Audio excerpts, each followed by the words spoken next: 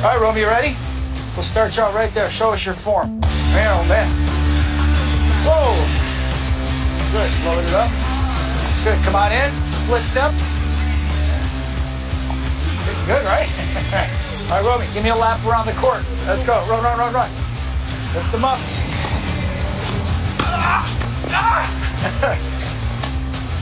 oh, yes! Là, tu penses que t'es encore en forme pour jouer au hockey? Moi, je pense que non. T'es super bonne. Je suis fier de tout. Sois bonne dans ton test, OK? Bye.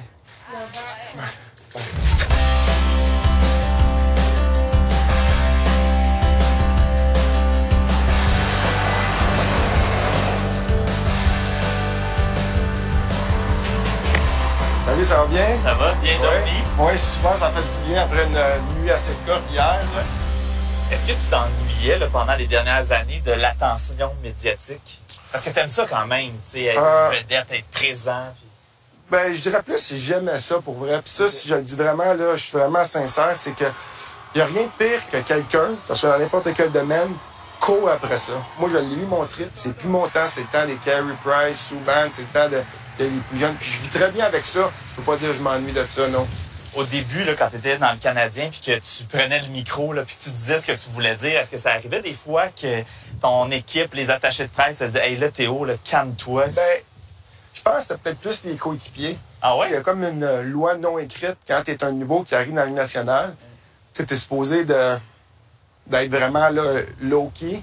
Puis euh, moi, d'un autre côté, je me disais, c'est ma chance, en partant, de montrer quelle sorte de gars que je suis. Est-ce que des fois, tu avais l'impression que malgré toi, tu prenais toute l'attention médiatique? Un exemple qui me revient vraiment là, à la tête jusqu'à aujourd'hui, c'était, quand mon ami et coéquipier Stéphane Quintal, il se marie, il fait un beau gros mariage. Il y avait évidemment beaucoup de coéquipiers qui étaient là, mais c'était la journée à Stéphane. Ah ouais. Finalement, quand euh, il y a la revue qui sort où que les journalistes étaient là pour le mariage, puis c'est moi qui est sur le front page avec Stéphanie, puis Stéphane et sa femme qui étaient en plus petit.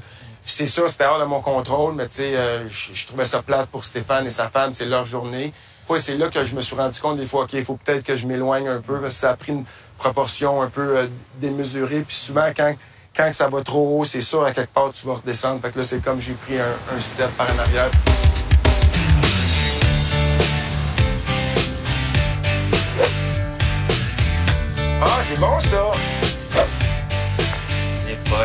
Te montrer encore, je suis capable d'arrêter euh, les tout rondelles. un arrêt. tu joues combien de fois par semaine? Je dirais un, deux, trois fois par semaine. Avec qui tu joues actuellement? Euh, Ed Jovanovski, c'est- mon partner pour le golf. Euh, J'ai aussi Eric Bélanger. C'est vrai que t'es ami avec Kid Rock? Ben, pas amis, mais on a nos numéros. Comme je le texte, on se texte, Ok. on joue au golf Ah, ensemble. Quand même, quand même pas pire. Comme il me fait écouter du matériel qui est enregistré, il me dit Qu'est-ce que tu penses de ça? Ben, C'est sûr, je dis toujours c'est bon, mais souvent, souvent c'est bon, mais c'est impressionnant, je veux pas. Là. Wow! Puis dans la chambre des joueurs, là, est-ce que tout le monde est sur le même pied d'égalité? C'est quand même là un milieu très compétitif parce que ton salaire, c'est tu vas te comparer avec quelqu'un qui a accompli les mêmes choses que toi. Fait que c'est sûr que dans ton équipe, si tu veux prendre la job de quelqu'un, comme moi quand j'étais gardien numéro 2, ben, je souhaitais pas qu'il y ait un match qui arrête tout puis qu'on gagne 1 à 0 puis c'est lui la vedette. Je souhaitais que l'équipe gagne, tu sais, mais j'aurais aimé qu'on gagne peut-être 5 à 4. S'il y a un gardien de but qui dit qu'il pense pas comme ça, il est tout simplement il est menteur. Je pense que je vais vous demander de me suivre tout le temps quand je joue. Peut-être que j'aime ça, la pression, ça me fait un peu plus me focuser. Mais pourquoi les joueurs, vous parlez tous comme des politiciens? Tu sais, vous avez comme une langue de bois. Ben, parce que je donne mon 100% puis je travaille, je peux pas contrôler qu'est-ce qui va se passer demain. Alors, c'est ça qui est ça. Comme ça, à peu près? Ouais, exactement ça. Un, c'est pas toutes les villes qui ont beaucoup de médias. Fait qu'il y a beaucoup de joueurs, des fois, qui peuvent arriver, sont pas habitués. Puis c'est aussi, à un moment donné, c'est tout le temps les mêmes questions. Mais on n'a pas personne qui va nous briefer, dire, OK, on répond ça, on parle comme ça. Mais tu trouves pas que ça aiderait l'image des joueurs de hockey s'ils s'exprimaient bien, si c'était fluide, si c'était clair? Mais moi, je suis vraiment d'accord. La nouvelle génération de joueurs de hockey, on devrait justement en faire plus, autant pour qu'est-ce qui est de l'éducation sur les finances, l'éducation sur la vie en général. Puis moi, je peux te dire, j'ai eu des, expériences avec des jeunes. puis Tu te mets un peu. Là, le gars, il veut s'acheter une maison. Puis là, tu parles, OK, tu vas-tu euh, la payer cash? Tu vas-tu avoir une hypothèque? Puis là, le jeune te regarde, ben je sais pas, c'est mon agent qui s'occupe de ça. Tu sais, je veux dire ça d'un autre côté, c'est comme ça qu'on voit les histoires comme Jack Johnson qui a fait 20 millions puis qui s'est fait voler par son père parce qu'il était pas au courant de ses affaires. Tiens! C'est sûr qu'il y a un agent qui te représentait, mais toi, es-tu un fin négociateur? Oui, c'était la partie euh, au hockey que j'aimais, le côté business. Ça a été quoi ta meilleure négociation, ton meilleur coup? C'était à Montréal. Le contrat après le lockout en 2004, j'avais 24 heures pour signer. Il m'offrait un contrat de 3 ans, 15,2 millions pour 3 ans. On s'entend que c'est de l'argent. Puis là, mon agent m'appelle, il dit OK, il dit, faut qu'on le signe. Là, il dit 15,2 pour 3 ans. Puis moi, en étant arrogant, comme j'ai dit un peu des fois, ou ben, stupide, peu importe, j'ai dit non, je dis moi, je veux 16 pour 3 ans, c'est un chiffron. Je dis toi, va les voir, puis c'est à eux autres qui vont prendre la décision s'ils vont perdre le contrat pour 750. Ah, ben ouais. Tout le monde disait t'es fou, qu'est-ce que tu fais là? Ils m'ont rappelé, puis ils m'ont dit ben oui, dis-tu là ton 16 millions? Mais c'était pas une question d'argent, moi, c'était juste question, je voyais ça comme, comme un jeu, puis je voulais gagner. C'est ça. Sacrifice. C'est un coup à combien de millions, ça? Ah, ça, là, Ouais. non, ça, c'était pas, pas terrible. Faut chanter, mais je chante pas, là. Là, ça part, puis là, c'est de la grosse guitare, puis là, ça... Travailles-tu vraiment dans ce bureau-là ou c'est comme un, un décor de cinéma?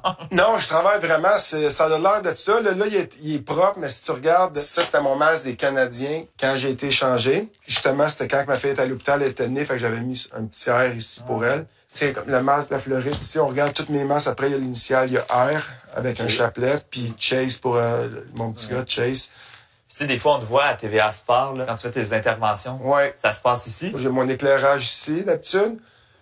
Là, ça, c'est la chaise. Puis si on regarde souvent, là, c'est à peu près là, l'angle qu'on voit, c'est à peu près ici. Et en direct de Boca Raton, en Floride, José Théodore qui va maintenant se joindre à nous. Bonsoir, José.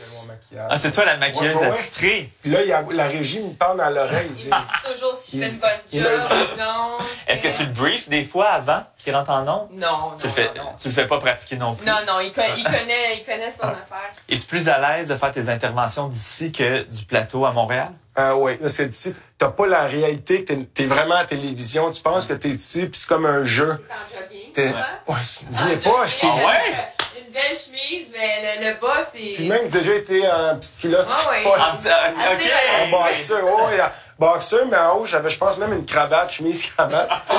Puis à la télé, est-ce que c'est Théo, le gardien de but qu'on entend, ou c'est Théo, le nouvel analyste? Dès que je suis arrivé, je me suis dit, OK, là, je suis plus joueur de hockey. Je suis pas là pour me faire des amis non plus avec les joueurs. Il faut vraiment que je sois honnête parce que les, gens au, Québec, ils connaissent le hockey. Là, c'est pas du monde. Tu peux pas leur passer n'importe quoi. Je pense que TVA Sport m'ont engagé pour être euh, honnête envers les amateurs. puis J'ai pas le choix d'être.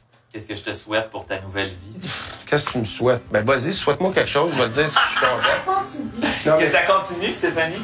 non, mais que ça continue comme ça. Pour vrai, présentement, là, je suis dans une bonne place. Tu sais, comme je suis ici, j'ai le temps de voir ma famille, d'en profiter. Je travaille, je fais quelque chose que j'aime. Puis C'est vraiment le fun de sentir que tu apprends quelque chose à, à chaque jour. Merci beaucoup, José. Ben, merci, c'était bien le fun. Merci beaucoup. Longue vie à José, l'analyste. Ouais. Anne-Marie Lozic est PDG de Vivid TV Canada, une chaîne de divertissement pour adultes. Elle passe maintenant son temps entre LA et Montréal. Ouais, et des tournages comme celui-là, il y en a pas deux.